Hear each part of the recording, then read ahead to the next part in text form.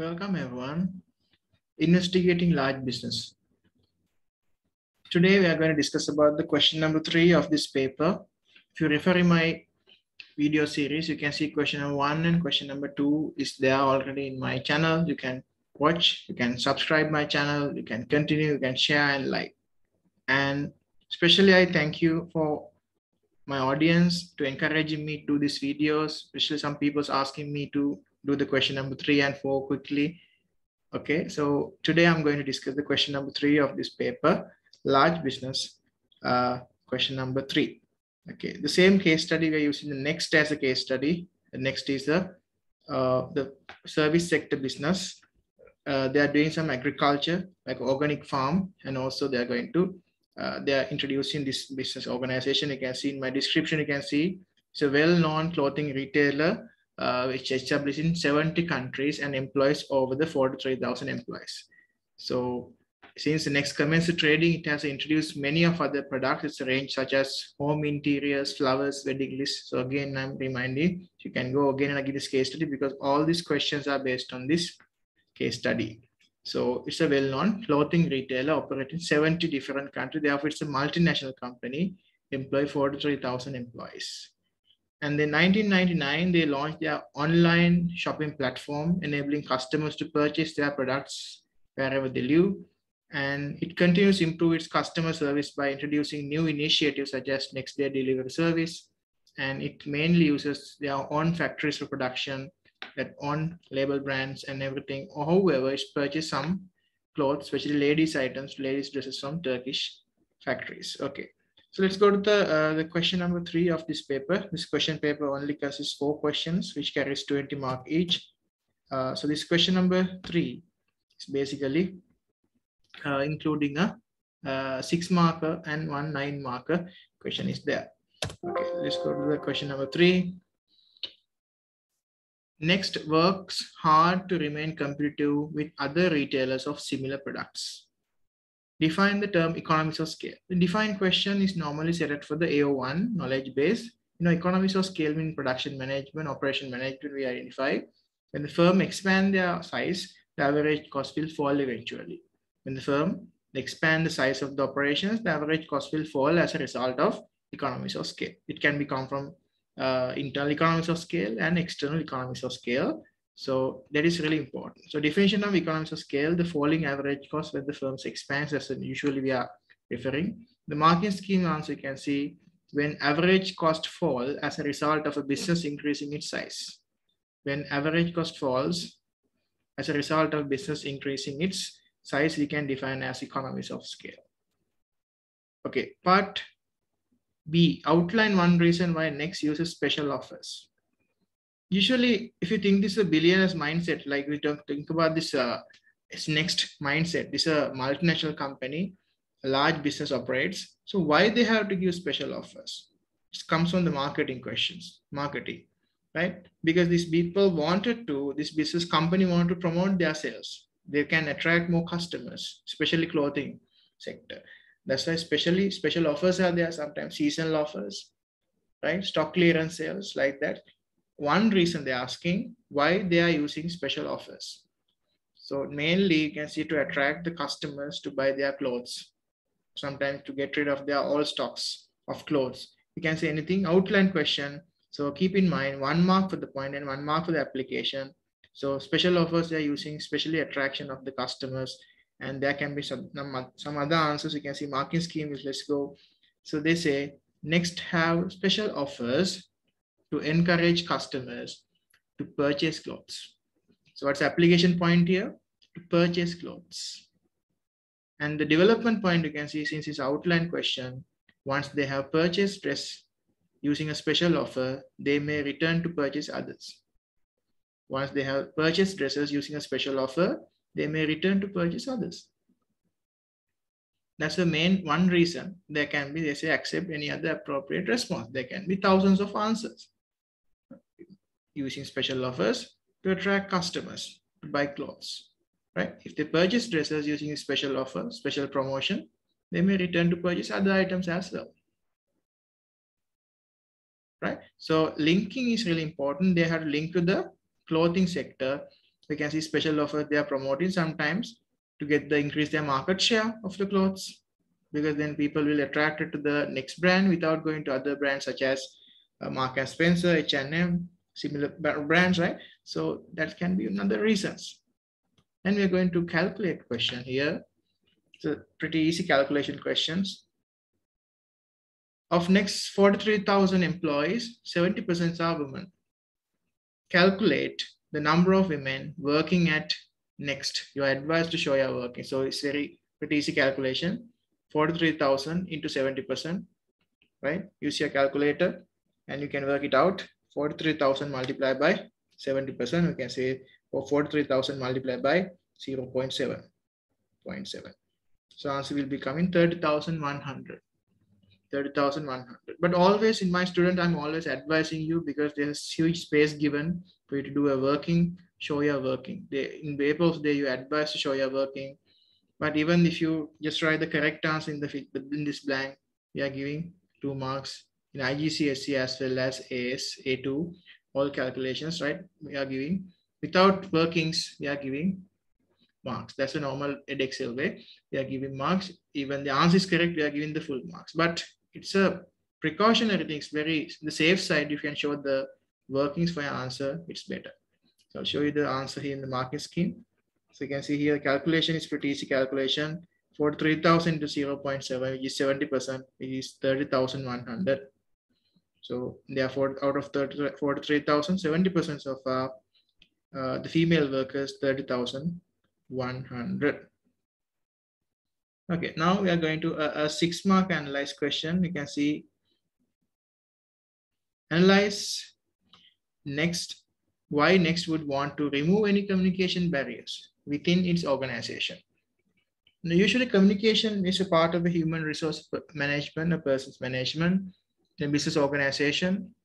We have to have a good communication link with the different layers of the organization within employees, internal communication should be better, external communication should be better, but there can be barriers of communication can become, especially this is a multinational company. Think from this business angle, this from this, uh, the next business model. They're operating in 70 countries. They might have different languages. There can be language barriers, different time zones, different cultures. So you can talk about that. So then if you have this kind of a thing, if you can remove this language barrier, if you can have them use some common platform to communicate, which communication become very easy. Sometimes you can use a like EDI system, electronic data transfer, interchange something. So you can electronic, like you can use emails, everything. That's why you are using as a commercial language. It's English language in most of the business organizations. But there can be some country like China, Korea, Hong Kong. They're using their own language Japan, right? So, but usually in the business world, the use of English language you're using as a method of communication, communication barrier. You have to right? And also another point you can see how another method that you can remove barriers is a delayering. Remove the layer, reduce the hierarchy. Then you can make your communication more faster and easier. So let's look at the marking scheme answer, how this kind of analyzed question they are answering. So analyzed question is we are giving AO2 application three marks and analysis three marks. So AO2 here application, uh, why next wanted to remove any communication barrier. As next trades in different countries, it will therefore need to employ to speak language of that country, especially 70 countries they are working, operating. So therefore different countries, different languages. Look at the analysis point there. By speaking the language of the customer, the staff can communicate and make it easier to increase the sales. That's important in a business it's kind of a, like a marketing trick because you have to always think like a customer. You normally say where are the customer shoes then you can think like a customer. So then mean you have to learn the customer language right? That means the owner doesn't need to learn the language. You can hire like workers you can hire employees who know the local language very well or who can speak speak multiple languages then you can easily demonstrate some clothes fashion accessories to the customers in their own language. They'll be happy and delighted. Easier to increase the sales. Moreover, if Next has long chain of command, it could mean that the message from head office may take long time to reach the shop assistants. Therefore, what they can do, the suggestions, the communication could be more unclear and inaccurate on this way through the chain of command leading to errors. That's why shorten the chain of command is better than having a long chain of command because when you're passing a message to 70 countries, so head office to other countries and it's come to shop assistants, it will take long time and it will be delay. So it's urgent communication. Sometimes you can't make the full uh, effective communication you can't do because it will take some time to reach the message to the uh, bottom level of the staff. Therefore, that's a one method, right? They, why would they want to remove any barrier like that? Because they can, those delays and everything can be removed. So what are two points there? Language barrier they can remove by speaking their own local language. You can, so therefore customer can understand, you can give a better customer service satisfaction. And moreover, by removing language barriers, by removing communication barriers, like reducing long chain of command, we shorten them off. The messages can be reached from the next head office to other countries, like a shop assistant, you can easily reach that thing. So message will be, as a result of that, very clear and accurate. Otherwise, what, what happens if communication can become unclear and inaccurate on its way through the chain of command, leading to error. I hope you understand that, uh, understood this concept. So normally we are going to last question, nine marker question of the question number three, right? Part E, nine marker question. This time nine marker question came from another person management or human resource management part, right? Job rotation versus job enrichment. You know, this part comes under motivation section. Both methods are non-financial motivation techniques. Got the question? Next, understand that some employees are motivated by non-financial methods. And these may help employees retention to keep them working. To do this, next considering the following two options. Option one, job rotation. Option two, job enrichment. Job rotation, you know, you can transfer to different different departments. Like uh, since it's a clothing retailer, international, you can see the shop floor workers. Sometimes you can see the design side, can see the customer side, you can see the manufacturing sector, like certain section job rotation means you can change the uh, the workstation of a worker time to time. As a result, you can get overall knowledge of the business organization and boredom can reduce, monotony can reduce. These are the main good and bad. However, worker will be in a stress. Why? Because he had to change his works time to time. On the other hand, job enrichment is a different thing, giving more authority like responsibility for the person. Job enrichment. Job enrichment, we call something like a vertical loading of responsibility, different types of layers, like different, you can use example like from next, what they can do. So anyway, when you're writing a nine mark question, the accepted structure will be select one option, either option one or two, don't select both. Select one option, right? No need of definition, right? Two advantages and two disadvantages, two positives, two negatives. No need a conclusion either, right? So let's look at the marking scheme answer for these options, what they can give, job enrichment and job rotation. Option one, they say the job rotation. Look at the application point. By offering job rotation, the employees may get to experience in different jobs, moving from stockroom or working in the shop floor. So as I told you, shop floor workers can go to the stockrooms, warehouse, sometimes manufacturing plants, sometimes the customer service desk, sometimes for the accounting branch. Like that, you can say you can, it's all about your imagination about next, right? Think that you are the owner of the next, right? The clothing retail. Then you can find out what are the divisions in your organization. With 70 different countries they operate in multinational clothing retail, right? And as a result of that, what happened? Job rotation. Employees may feel that the working, when the experience of moving from stock room to the shop floor gives the additional skills and knowledge which can be used within next. Additional skills and knowledge you can get. That's AO3.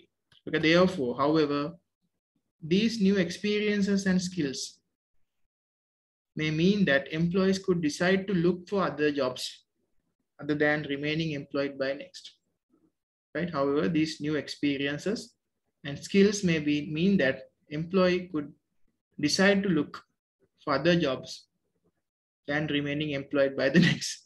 Because why? Because when you are becoming like a skillful, sometimes employees people who work for money, right? And this is what happens when you increase your skills. That means their capacity will increase, their employability will increase. They will like to searching other jobs which pay them more salary. That's a human nature, right? So on the other hand, job enrichment, the second point. Both are non-financial methods of motivation they ask. It's really pretty good question.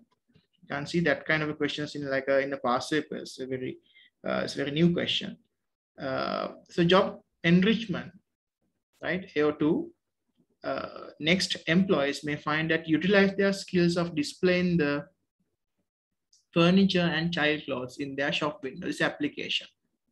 Job enrichment mean giving kind of like additional responsibility, utilize their skills of displaying.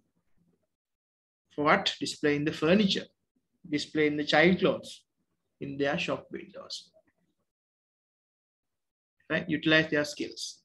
Moreover, look at the evaluation point, analysis point, the employees will be able to use the new skills to display products in applying for different jobs, either within next or at another business. So as a result of that, what happened? That this product displays another technique. It's like a science behind, like a small, like it's like art, product display, demonstration, pitching.